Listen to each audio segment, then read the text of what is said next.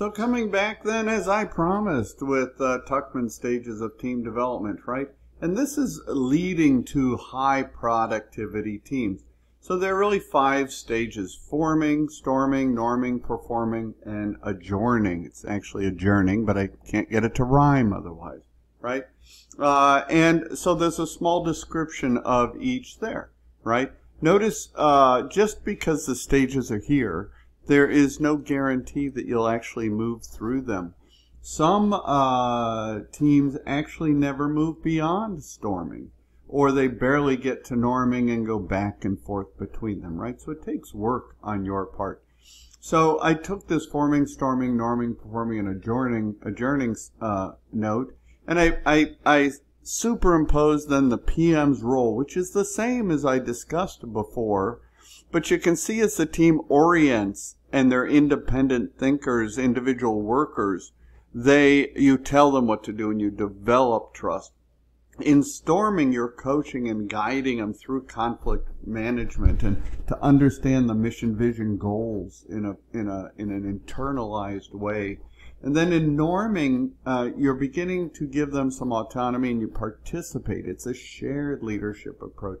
So this is really a good approach to watching your team develop into high performing teams and knowing where they're at. Now, when I uh, work in, uh, there are other models that you could use in addition to Tuckman's, right? Um, but either way, teamwork leads to productivity. There's a Shu-Ha-Ri model, which is a three-step process to increase mastery. Shu is obey the rules, that's first. Then Ha is moving away from the rules where you begin to, to break free. And then Ri is finding your individual path, of course, as a team. Uh, in the Dreyfus model for skill development has five states where you uh, subsequently go from novice to beginner, competent, proficient, and expert. And as your commitment evolves, your decision making is also going to evolve and your perspective will evolve with it, right? So you end up being a higher performer and working with the team in the same way. So uh, the goal is to have as an output uh, that high performing team, and part of that is assessed in terms of team performance, right? Where you can assess the team's performance as a whole as well as individual performance, including skill improvements to increase competencies, reduce turnover, etc. Notice that we can have hybrid assessments of that, where, for example, an I-shaped assessment would have the team members specialize in one area where a T-shaped uh, assessment where is where team members work a share workload and adapt to changes and that's more of an agile approach to it now here's another celebration of knowledge. Yay right? You have the resource management plan and the project staff assignments. What do you need before you can start to develop the project team? Well now i need resource calendars right? These are the three inputs to developing a project team, right? I need my plan to do it. I need my staff assignments, which will list my roles, responsibilities, their skills, the training they need, etc. And then the resource calendar along with it. Um, uh, will is a, that's a celebration of knowledge. I just love it. Now, when I'm developing the team, I have to apply motivational theory, right? What motivates us? That's really uh, the the question. Uh, do personalities, do management style, styles, uh, are we hardwired, right? So the project manager has to figure it out and make uh, it apply and, and, and apply it to the individuals on the team, right? People mo- are motivated differently. So McGregor, for example, developed theory X and theory Y. He said managers apply X or Y to all individuals and we bucket them then, right? So manager McGregor says that the workers fit into a, a, bucket X, which is where the project manager feels you need to watch them. They're unmotivated. They dislike work. They're selfish. Um, versus a, a theory Y PM who thinks people will work without supervision. They want to achieve and they need freedom from us, right? Uh, y would be the approach that project managers util- utilize the most. Now, Maslow's hierarchy has these five uh, from the bottom up physiological, safety, love, belonging, esteem, and self actualization. We're all working towards self actualization. Uh, we never really get out of one area or go into a next area until the first is met. So we don't go to worry about safety issues like locking our house until we have surpassed the physiological needs. Place to sleep, do we have enough food, that sort of thing. Once we do that, we go to safety. You know, do I have money in the bank? Uh, is my house locked? Do I have a house uh, that's secure? Uh, once those are met, now I'm able to develop skills in uh, and seek out love and belonging, those sort of things. We are all seeking self actualization, according to Maslow. Uh, McClelland had a theory of needs where he said, look, there are three things that basically motivate us uh, achievement, affiliation, and power, right? and we're all we we want to identify the people working for achievement and and note what motivates them there. Some people are motivated with affiliate affiliation just by being part of a great organization. I loved being part of the u.s air force. I thought it was great. I loved flying some of the biggest planes in the world i just liked doing that the biggest the best I, that always motivated me i don't know why but that's not the point. The point is what motivates you so we can keep you and make you productive, right, in our team.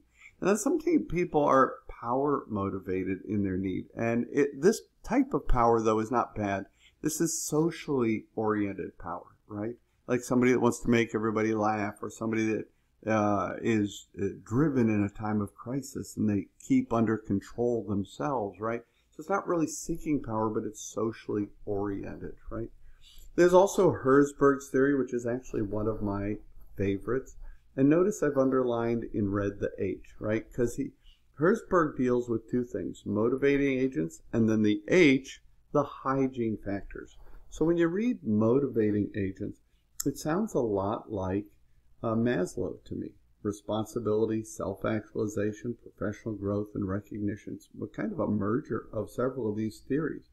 But the hygiene factors Herzberg says, are the working conditions that you operate in, your salary, your personal life, um, your work relationships. So what what Herzberg is saying is, if I have bad hygiene, those conditions, we want to fix them, and that'll motivate. But if we ju- if we have good hygiene, making good hygiene better is not necessarily going to motivate us. Yet the balance is poor hygiene, like working conditions, salary, personal life, work relationships, can destroy motivation, right? So good hygiene is not sufficient to motivate, but it's a very important factor. And sometimes we give out pay raises when that isn't really what's going to motivate, right? Uh, small raises. And then there's a contingency theory. You have to be the right leader at the right time, and you have to be willing to transition between the two. You might be a leader in stress, right? Where you're more directive and task oriented. But as you, uh, as the environment transitions to calm, you have to transition as a leader yourself, but understanding what motivates your team. Uh, theory Z is another one, and then of course there's expectancy theory. You can pause the video and review those on your own uh, now. Uh, one of the tools that you can use in all of this is to capture these uh, motivational theories, motivational approaches for different individuals on an issues log. It's the same issues log that we've talked about as a project manager that I walk around with, with actual project issues. But motivating the team and avoiding conflict or minimizing or solving conflict is also very important to me. And so you might have a separate issues log for uh, these efforts. Now, another celebration of knowledge. You've observed your team members' uh, work performance and their behaviors and their attitudes. You are now giving formal feedback to them along with the expectations and the specific goals for the remainder of the project.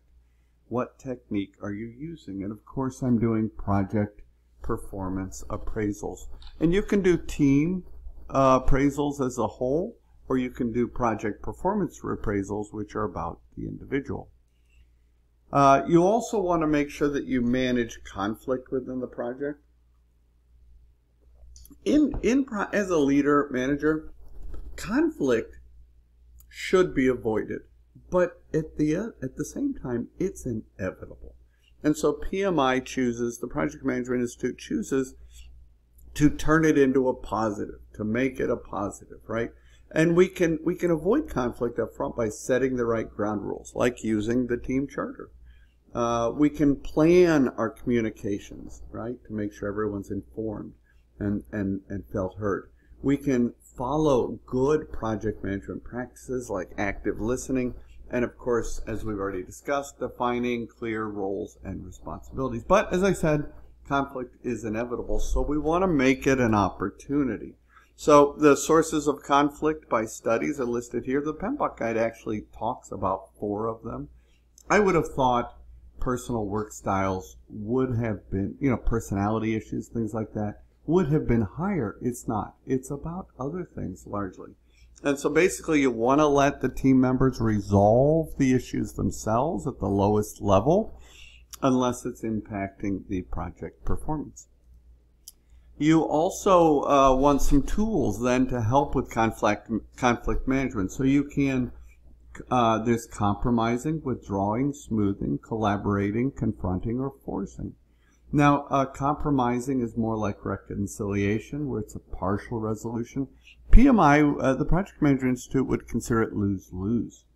Uh, we can withdraw or avoid the situation. It's not usually the best. It might be if somebody is getting violent at work, but otherwise, not usually the best. Uh, smoothing is more accommodating. Collaborating is really uh, is about solving the root cause uh, and we want to make uh, it a win-win, uh, which is really a form of confronting the problem, right? That's win-win too. Forcing, forcing your opinion, the decision is not win-win. Sometimes people do that, but it's not win-win. Anyhow, some tools that you can use in your toolbox. Um, and so you want to manage the team process and use decision making and emotional intelligence as tools, right? You uh, want to develop strong emotional intelligence with your team to reduce tension and increase cooperation and it keeps stakeholders open to our project. Uh, and and so you have approaches you can use like directing not recommended but sometimes needed facilitating coaching etc we've discussed those. I just wanted to summarize it in one term. Now you also have power as a project manager and I list five of the powers that you have here. Notice that formal power, like your position power, uh, comes with generally two types of uh, efforts. One is reward and one is penalty. Penalty is not considered the way to go, but and reward generally is. It's a better motivator, right? Expert power is a very real thing. We all know that person or people we turn to or organizations uh, referent or charismatic uh, power is um, also a a real thing, right? People that motivate the team and uh, keep you focused.